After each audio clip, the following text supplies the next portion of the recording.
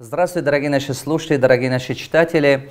Хочу в это видео по-подробному рассказать вам э, инструкция, как вы могли бы использовать нашу игру «Я и деньги» и добиться своей цели. Прежде чем рассказать об этом, я хотел бы задавать вам такой вопрос.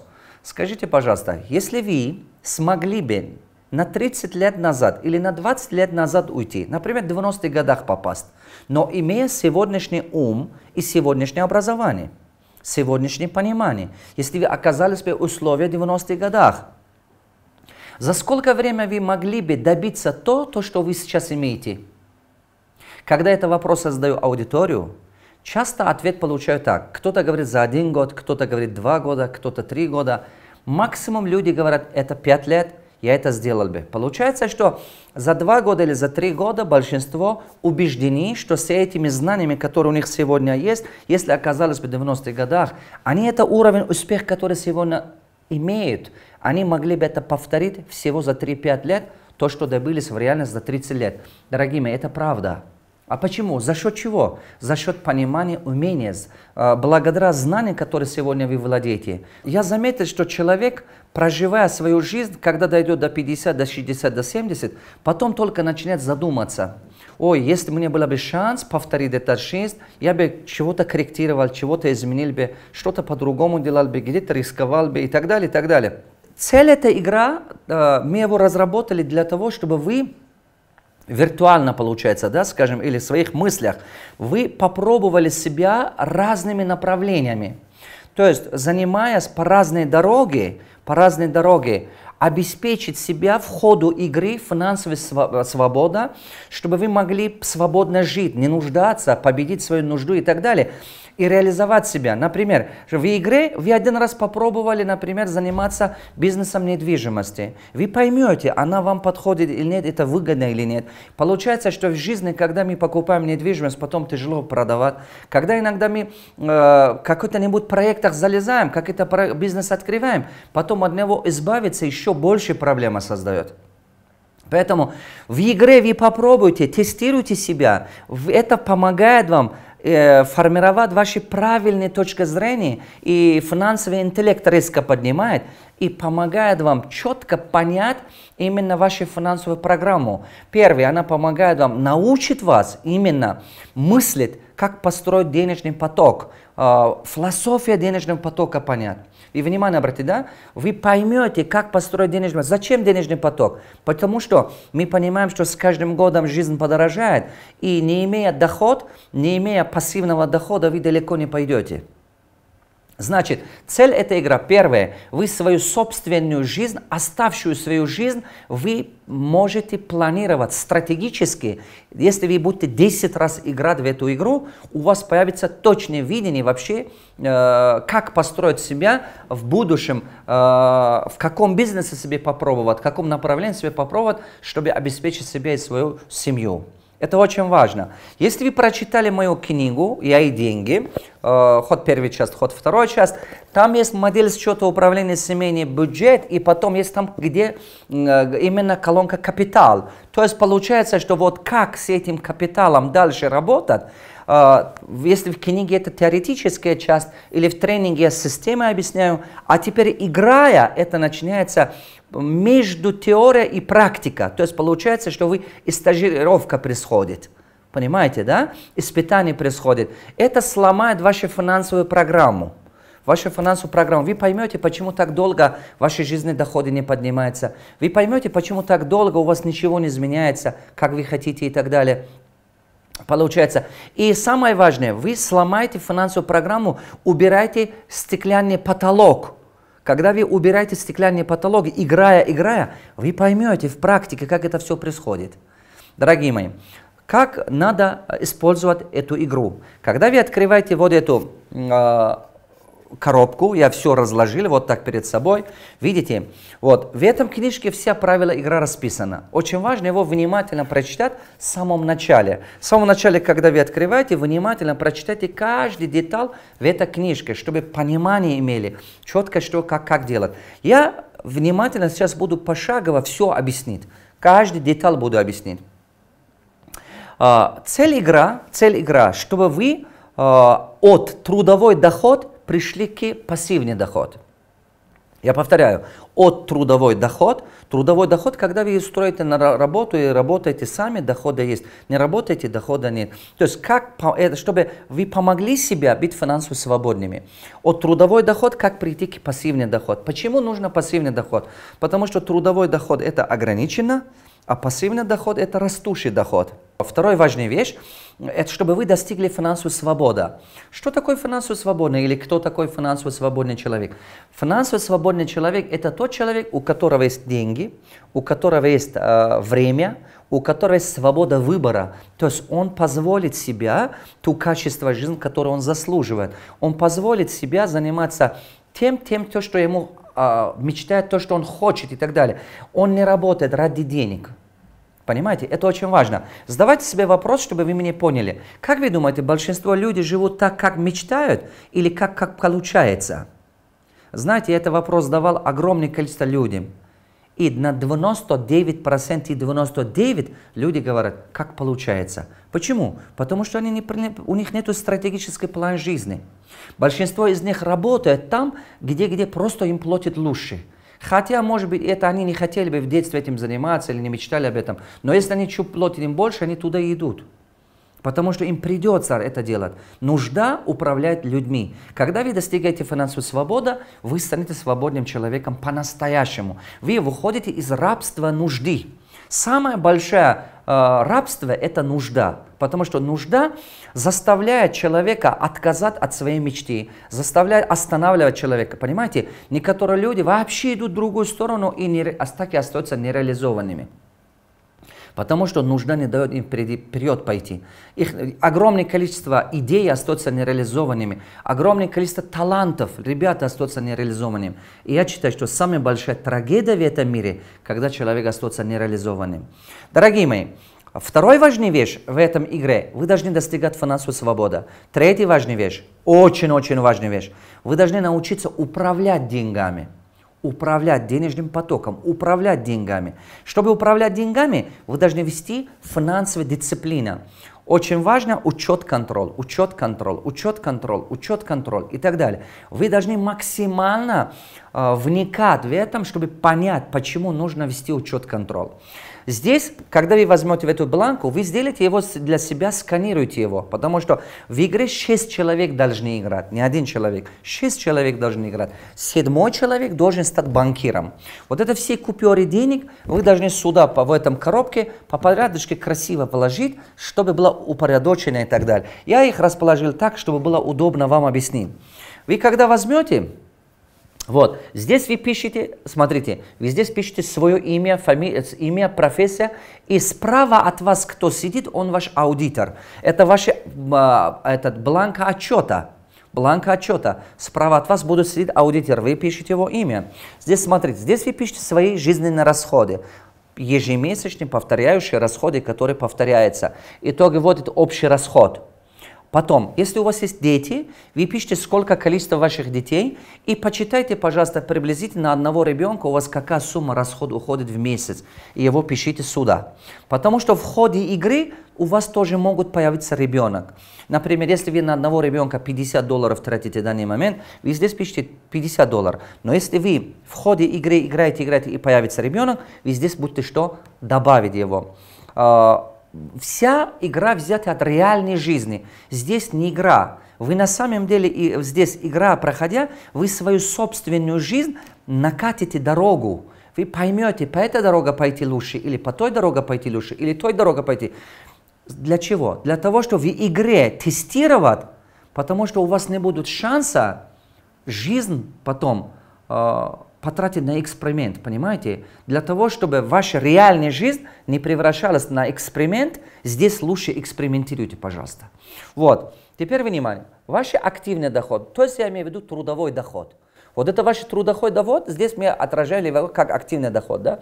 Зарплата мужа, зарплата жены. Вы его сюда пишите, плюсуйте.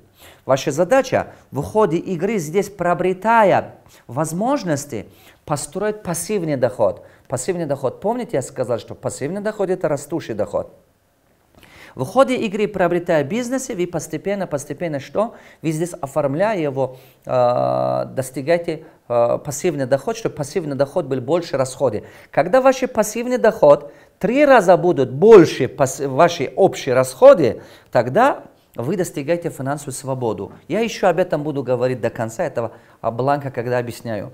Внимание обратите. Вот. Если вы сейчас бизнесмен, у вас в данный момент уже есть бизнес какой-то, может быть, 2-3 бизнеса есть.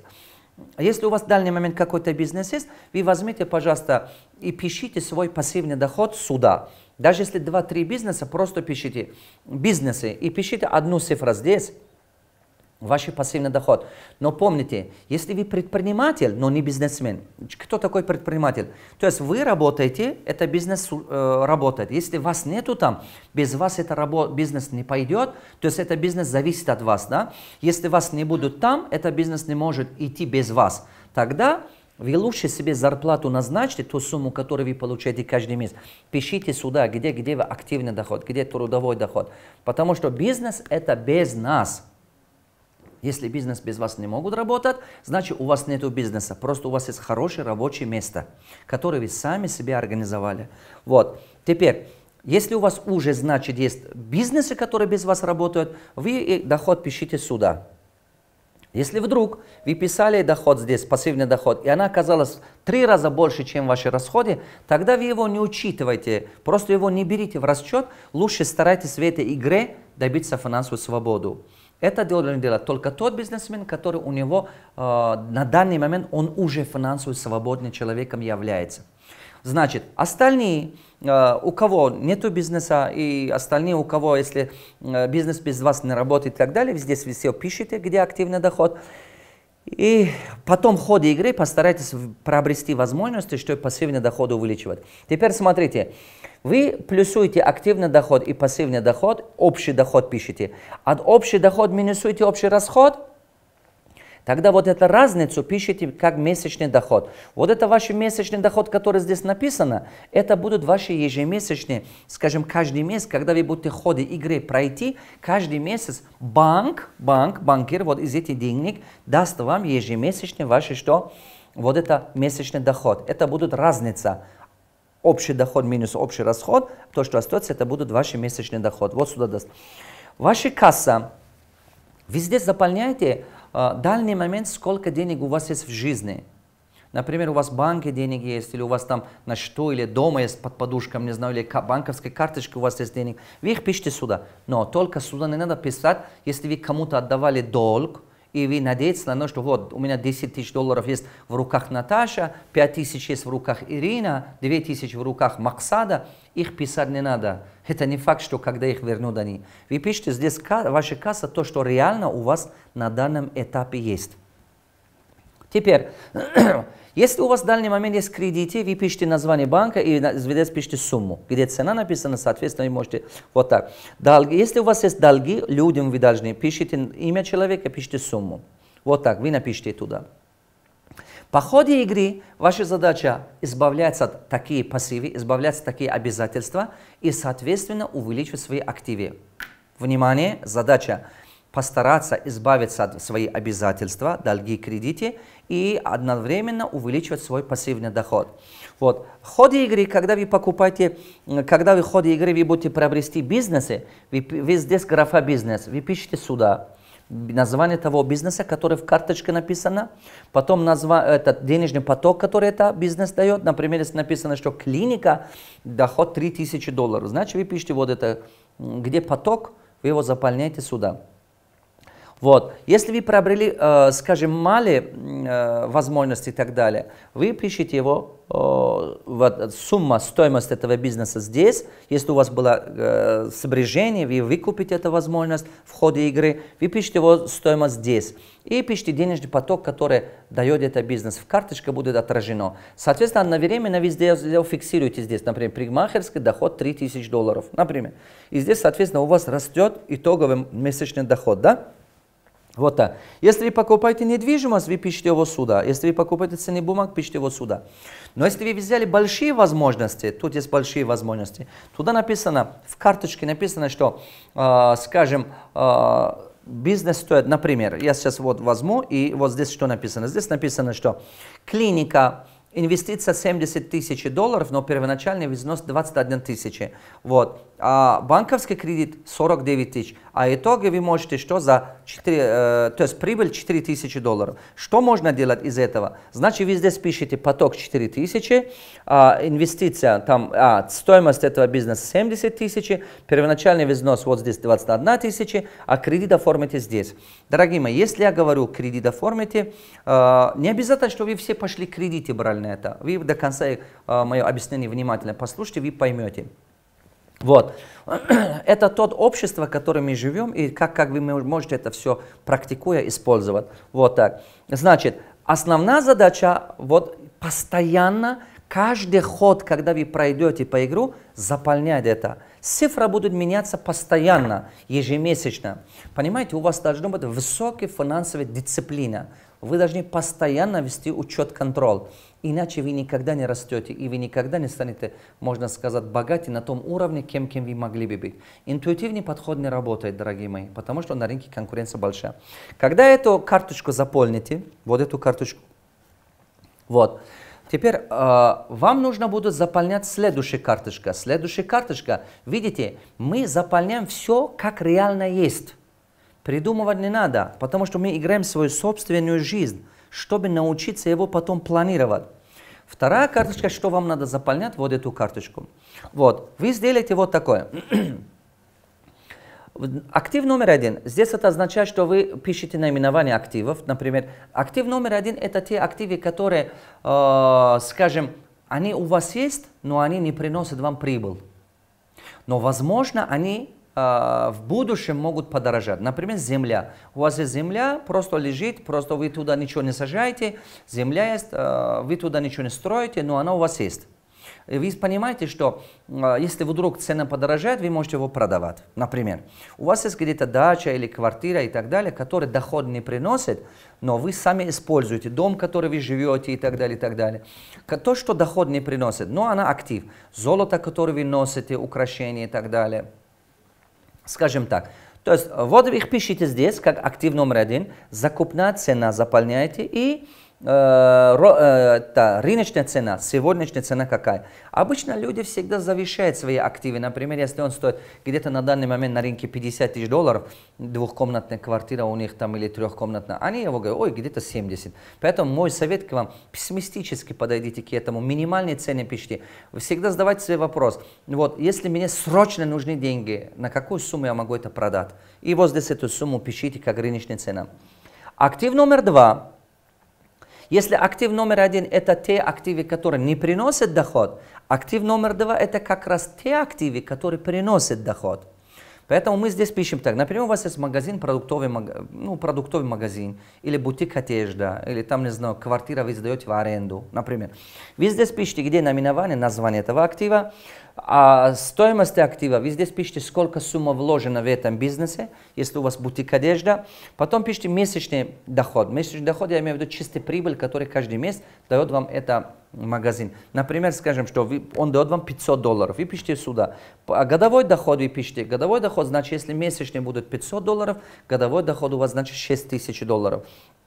Скажем, что вы в этом бутик одежды вложили там, не знаю, 10 или 20 тысяч долларов, да? Вот это, скажем, 10 тысяч долларов или 20 тысяч долларов вложили. Вы вот это, если 10 тысяч долларов вложили, вы годовой доход был 6 тысяч, да? 6 тысяч делите на 10 тысяч, умножаете на 100, выходит рентабельность годовой, значит 60%. А если 20 тысяч вложили, например, для этого, чтобы это магазин а, товар оборудовали, товар закупили и так далее, а, инвестировали туда, да, 20 тысяч долларов. Скажем, вот это 6 тысяч долларов годовой доход, 6 тысяч делите на 20 тысяч, умножайте на 100. Тогда вы видите, что это какой процент выходит здесь. Вот это будут рентабельности. Заполняя эти вещи, вы упорядочите в своей голове именно методом управления своими ресурсами, активами и так далее, и так далее. Я замечаю, что часто люди не управляют своими ресурсами, своими активами, и они очень много накапливают мертвый капитал. У них есть земля, у них есть там какие-то базы, у них есть какие-то участки, дачи и так далее. Но они хотят делать бизнес, у них денег нет, идут кредиты берут. Хотя они могли бы правильно управлять своим активом, не нуждаться даже никакими кредитами, деньгами и так далее. Вы поворачиваете эту бланку и с другой стороны список имущества. Вот здесь Теперь мы начнем уже по категориям управлять свое имущество. А категория – это те имущества, которые приносят доход. Вы их здесь пишите. Те имущества, которые реальный доход приносят, мы здесь фиксируем их. Второе, Б-категория – это те имущества, которые не приносят доход, но они необходимы. Например, жилье, которое мы живем сами, он не приносит доход, но она необходима, без него жить невозможно, например, скажем, да, она нужна. Машина, которой мы ездим, она тоже не приносит доход, но она нужна, она помогает нам. Вот, мы их пишем здесь. А все то, что у вас не приносит доход, и без него можно жить. Вот вопрос ставьте для себя таким образом. Можно ли без этого жить? Если ответ будет «да», значит она попадает в категорию «С». Сюда могут попасть лишние, даже лишние одежды, лишние ковры, лишний мебель, лишние, скажем, там, не знаю, у вас есть какая-то квартира, которая не приносит доход, дачи, туда-сюда. Все то, что сюда попадает в категорию С, это значит, без него можно жить, и, наверное, он доход не приносит, значит, его надо продать. Продайте его и превращайте в капитал. Пусть эти деньги работают на вас. Но если у вас, э, скажем, мышление наших родителей какой бы, если вы живете по старой мышлению, скажем, да, вы будете говорить, ой, пригодится. Наши родители всегда так нам говорили, ой, пригодится и так далее. Но поверьте моим словам, пока наступит момент, когда она вам пригодится, она устареет и ненужным становится почти.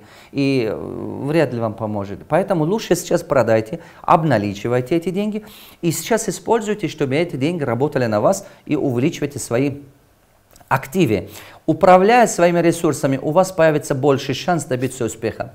Теперь, потом, самым последним, самым последним, вы заполняете вот эту бланку. Это называется карманная дра. Карманная дра. Здесь вы пишете свои расходы, статья все свои расходы. Расходы бывают месячные и годовые. Например, э, скажем, если вы, э, вы, например, ремонт квартира, ремонт машина, она не бывает каждый месяц, она бывает 2-3 года ремонт квартиры один раз, ремонт машины иногда 2-3 месяца один раз, да, например. Вы здесь заполняете сначала ежемесячные расходы, особенно ежемесячные, которые вы тратите. Если какие-то статьи расход попадают, годовой расход, который вы платите, делите его на 12, чтобы в среднем вы вывели на месяц, сколько уходит на это, например, налог на имущество, на в год вы платите один раз раз. Или, например, путешествие. Ведь каждый месяц не путешествует, может быть, один раз, два раза в год путешествует. Делите его тоже, если хотите. Сюда и пишите. Это для чего? Когда вы заполняете название статья расходов, сумма заполняете. И сначала вот так заполняем вертикально, потом вторую заполняем вертикально и пишем итоговую. А потом, после этого, начнем посмотреть каждую статью, сколько можно сократить. И начнем каждую статью рассматривать. Возможно, какой-то из них даже можно отказаться. Значит, вы просто черточку сделаете, значит, от него можем отказаться. А какой-то из них на 10% можно уменьшить, уменьшаем. А какой-то из них 20% можно уменьшить, тоже уменьшаем. А какой-то из них вообще невозможно уменьшить. Просто мы эту цифру перенесем туда и почитаем здесь итоговую сумму. Когда вот это все вы почитаете, вы начинаете видеть, что, оказывается, по вашим мнениям, путем планирования можно от некоторых расходов избавиться, можно его сократить и так далее. Тогда после того, когда вы вот это заполняете, карманный дыру, вы поймете, что ежемесячно сколько вы лишние, ненужные расходы делаете. Знаете, самое интересное, я когда заставляю людей писать карманные дыра, я иногда удивляюсь, иногда некоторые люди, бизнесмены, до миллиона, до трех миллионов тенге, кто-то иногда в год до 200 300 тысяч долларов составляет у них карманная дыра у бизнесменов. И они становятся в шоке, они вообще ужас попадают. Люди, которые на зарплату работают, в среднем от 1000 долларов до 10 до 12 тысяч долларов иногда находят свои карманные дыра, которые в год могли бы сохранить эти деньги. Просто эти деньги не нужно расход делать. Поймите правильно, я не за, чтобы вы жадничали, экономили, то 50 нет. Я не обучаю экономии, я обучаю управлению. Дело в том, что богатство не то, что вы тратите. Богатство – это то, что у вас останется. И самое важное, вначале станьте финансово свободным, а потом, пожалуйста, после того, когда у вас будут хороший пассивный доход, хороший именно, это более 10 тысяч долларов пассивного дохода, когда у вас будут, вы можете себе позволить, пожалуйста, потом купить то, что вам нравится, то, что вы хотите. Вот такие. Вот так, дорогие мои. Теперь, после того, когда карманную дыру заполняете, вернитесь и снова корректируйте, пожалуйста, в статье расходов. Когда вы это корректируете, вы осознанно, в данный момент у вас был расход другой, но вы осознанно поймите, что э, вот вы же там писали, планируете, что сократить. Подумайте, что из них на что повлияет вот это, если вы устраните карманный друг. И корректируете. Уже ведите себя так, и с этого дня начинаете так управлять, чтобы вот эта карманная дыра, она у вас не существовала. Вот. Здесь корректируйте с этих расходов. Возможно, здесь месячный доход будет друга, чуть больше. Исходя из этого, вы будете двигаться. Потом в жизни это делаете. Вот. Когда вы это заполняете, все дадите справа от себя, к вашей аудитору, чтобы аудитор проверил все, э, действительно ли вы все правильно заполнили и так далее. Теперь, после того, когда вы все бланку заполняете и так далее, вы должны понимать, что каждый раз, когда вы делаете ход, каждый раз, когда вы делаете ход, э, вы должны э, присмотреть эту бланку, заполнять его снова, снова, снова. И используйте резинку. У вас должна быть резинка. Стирайте и карандашом. Ручками не надо заполнять, карандашом заполняйте, чтобы каждый раз будут меняться ходы, чтобы вы стирали и заполняли и так далее. Именно карандашом и резинками. Но очень важная вещь, которую я хочу вам сказать –